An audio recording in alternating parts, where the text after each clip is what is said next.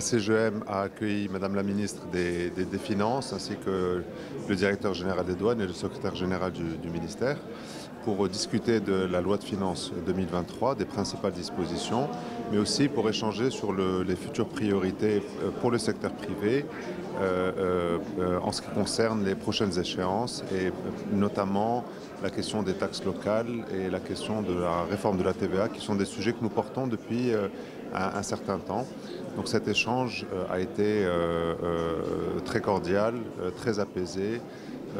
et à ce titre, nous nous félicitons de, la qualité des, dispositifs, des dispositions de la loi de finances 2023 qui ont été en grande majorité très appréciées par le secteur privé.